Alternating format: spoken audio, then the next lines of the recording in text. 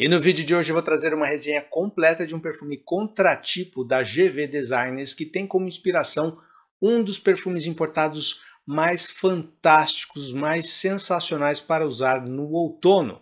Esse, é, esse perfume é um presente dos deuses. O perfume é o Ideale da GV e tem como inspiração o L'Homme Ideal de Guerlain. Vem comigo!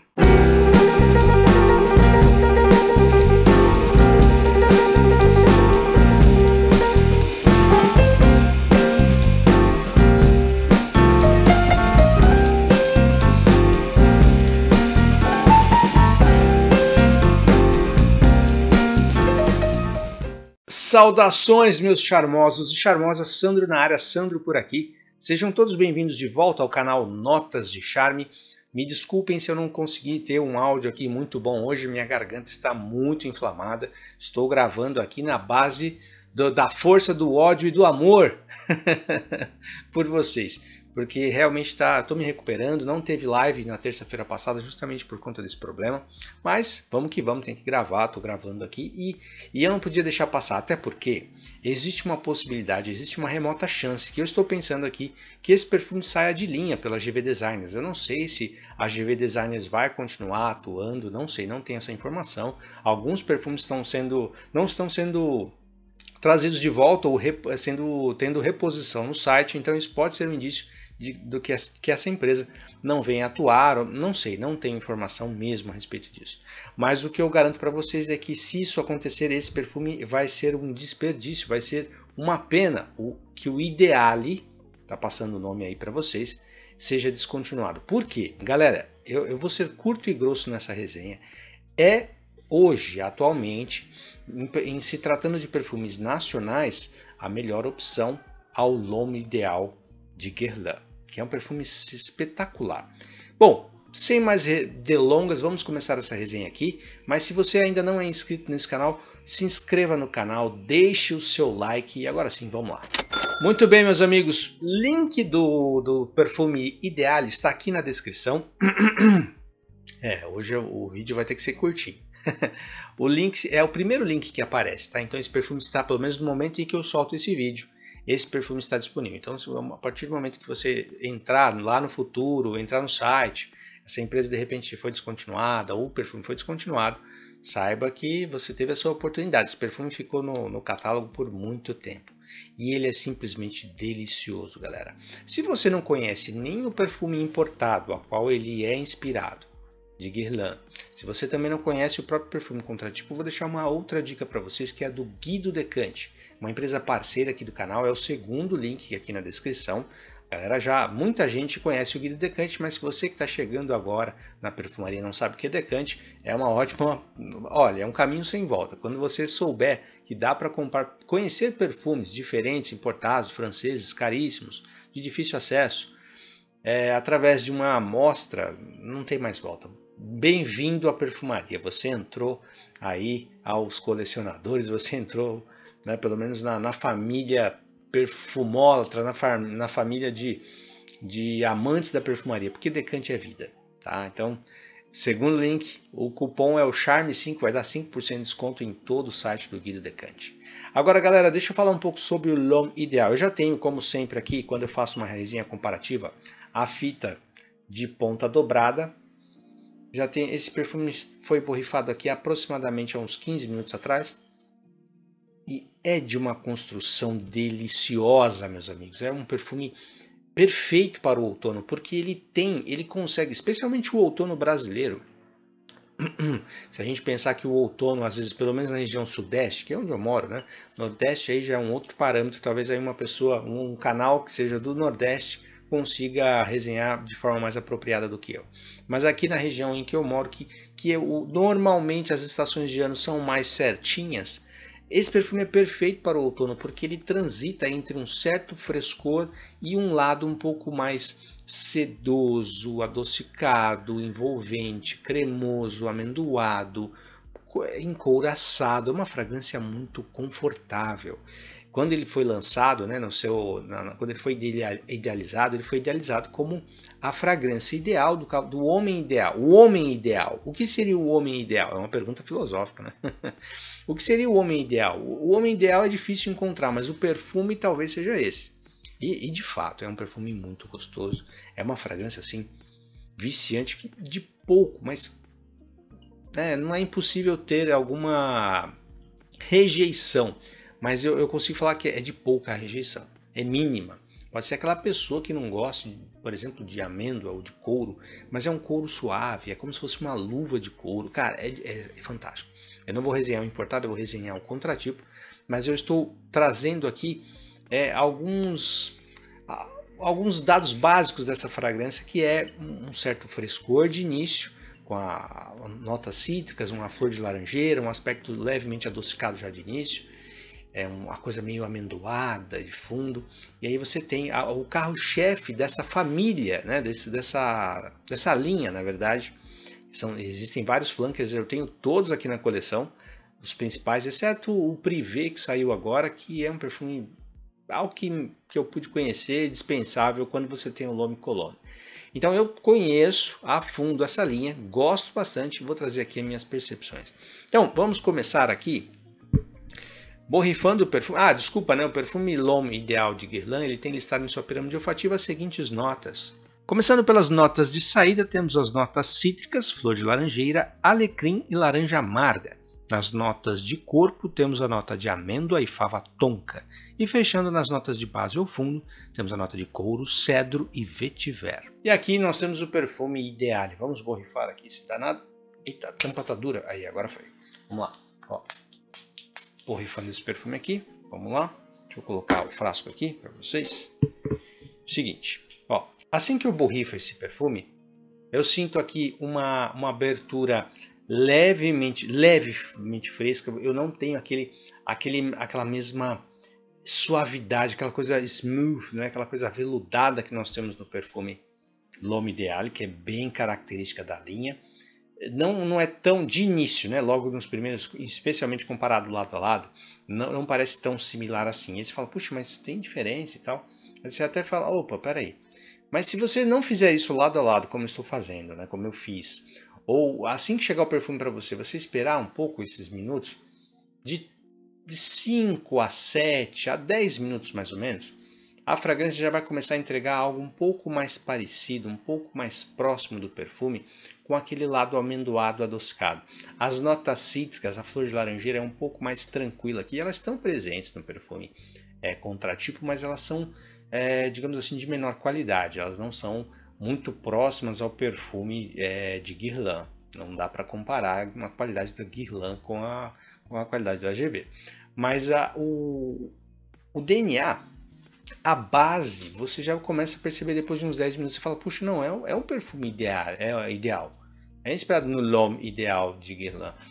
E quanto mais o tempo passa, mais aquele lado levemente fresco, com a, com a laranja, né, com aspectos cítricos, com a amêndoa e a fava tonka começam a ficar mais, mais próximos.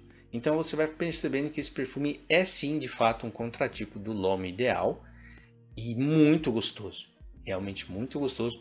De saída, né, né depois eu posso até é, refrisar isso na, na similaridade, mas de saída tem uma diferença. Você fala, puxa, opa, sinto uma diferença aqui, mas totalmente é, compreensível pelo gap de qualidades em que Guerlain, puxa vida, e AGV. Tirando isso, galera, vai ser um perfume muito agradável para você utilizar naqueles dias um, em que tem essa transição do, de um dia um pouco mais quente durante o dia e ao finalzinho da tarde vai começando a é, esfriar e você precisa de algo mais doce, ele consegue entregar isso. É um perfume bem gostoso e vai brincar com essa coisa amendoada, aveludada, essa coisa totalmente sofisticada. É um perfume muito sofisticado. Esse perfume aqui, gente, é, é simplesmente um dos melhores da perfumaria. É pouco difundido, pouco falado no Brasil, como muitos perfumes. Se não for bombástico, se não for baladeira, não faz sucesso no Brasil, infelizmente. parece que é, é um karma que nós vivemos. Se você, se você não, não tem aí entre 20 e 30 anos e não está na balada, você não tem um perfil olfativo. Eu sei que eu estou sendo generalista, tá, gente? Estou resumindo, bem reducionista. Mas parece que tem um pouco desse perfil aqui no Brasil. E, e, infelizmente essas fragrâncias, por escaparem, né? Felizmente, graças a Deus, desse estereótipo, desse, desse tipo de, de, de proposta, não faz sucesso, fica ofuscado por esses que fazem. Mas, meus amigos, é uma joia na perfumaria. Se você não está, você, não que você não possa usar ele na balada, desde que você saiba que ele não é um perfume de projeção e de desempenho absurdo. Afinal, balada não se resume a projeção e desempenho se resume a bom cheiro. Se. Não se resume, né? Mas é também bom cheiro. É você, né? A pessoa chegar perto de você e, e querer ficar perto de você. Não passou, ai nossa, que, que, rastro é esse? Não, mas é quando você chega perto, tá aquela, aquele cheiro sufocante de um perfume extremamente forte. Sei que estou desviando do assunto, mas é para falar que, e, gente, perfumes baladeiros são muito bons, mas nem sempre. É que fica uma regra e às vezes eu fico um pouco com preguiça disso. E esse não, a pessoa passa, tem que chegar um pouco perto de você para sentir, mas vai valer a pena, porque ela fala, nossa, que cheiro fantástico, que cheiro gostoso. Quer chegar perto, né? Quem é essa pessoa, né? Ó, oh, alguém que usa um perfume refinado desse deve ter um bom papo, deve ter um conteúdo além do, do, do exagero, né? Da, da força. E, e, faz todo sentido. E o perfume Ideale consegue entregar muito bem, grande parte dessa sofisticação, desse cheiro gostoso, dessa combinação de, de, de, cítricos. Não, não tem uma nota cítrica assim que se destaque. Realmente é um lado fresquinho. A nota de alecrim não aparece tanto aqui no, no contratipo, já é um pouco mais no importado. É, exatamente.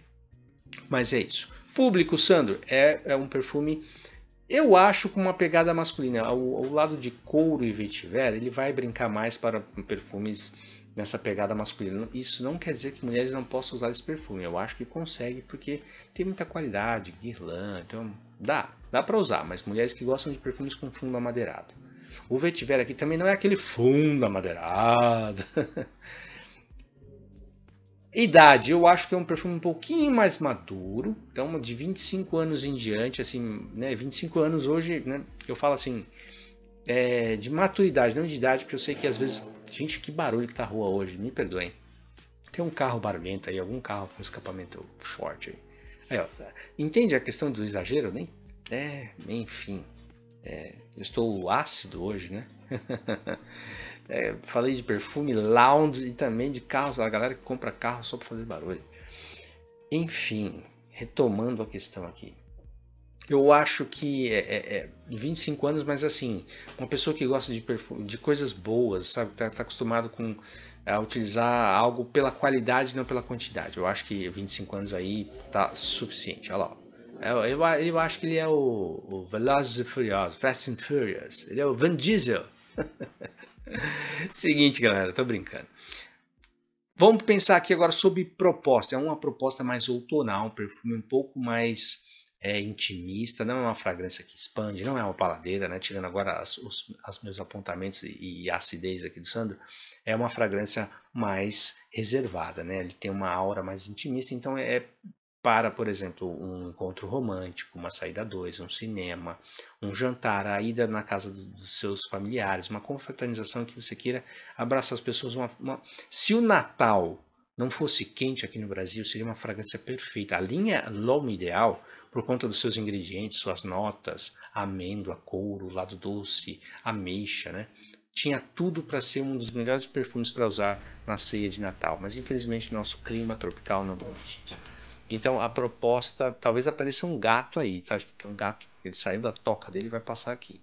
Acho que não sei se vai aparecer na Fica aí, fica aí. Então a proposta dele é, é, seria algo mais assim. Não é um perfume, por exemplo, agora falando de estações, para usar em dias muito quentes, porque ele tem um dulçor. Esse lado de fava tonka junto com a amêndoa empresta um dulçor. Sem reclamar, hein, cara? Fica aí um, um dulçor leve, suave, nada agressivo. Não é aquele dulçor de baunilha, é uma fava tonka amendoada. É uma, uma, uma, é bem suave o dulçor, tá? Muito gostoso. Inclusive também pode vir um pouco da laranja amarga que aqui traz dulçor para o perfume. Então muito gostoso. Hum, só que outono e inverno. Primavera, uma primavera fresca, verão eu não uso, fica guardado esse perfume para mim. Beleza? Vamos falar sobre desempenho, é um desempenho mais intimista, então eu acho que tem uma projeção de até uma hora mais, mais intensa quando você borrifa, cada vez mais rente à pele. É um perfume close encounter, né? É uma coisa mais próxima de você.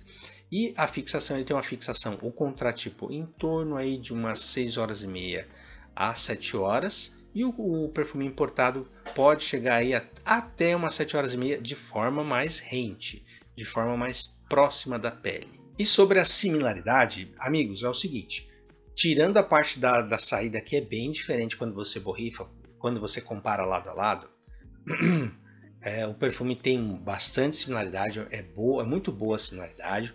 Acho que vale a pena ter na coleção se você gosta desse, da, dessa estrutura de fragrância. Eu acho bem válido, eu acho um perfume muito rico, muito gostoso, é um perfume contratipo muito bem feito, que parece bastante o L'Homme Ideal de Guerlain.